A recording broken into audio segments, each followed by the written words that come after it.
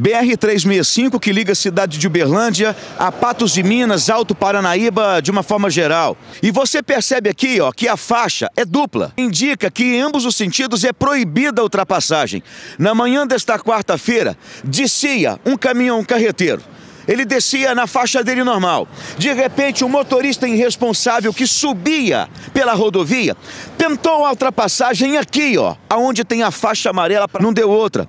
O motorista do caminhão acabou passando é por cima é, é da frente do carro e ele saiu da pista.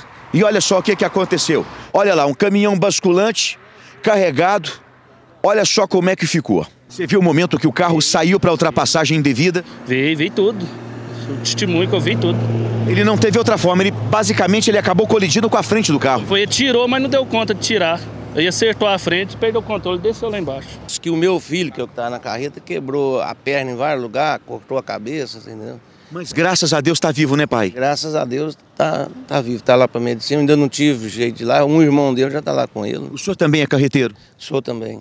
O coração fica na mão quando sai para a estrada, estrada e quando vê o filho saindo também. Sem dúvida. A hora que a minha mãe, a mãe dele ficou sabendo da notícia lá, a primeira coisa que ela falou, caminhão é, é terrível. Sai vivo e não sabe se chega em casa, né? principalmente com essa imprudência que está nas estradas hoje.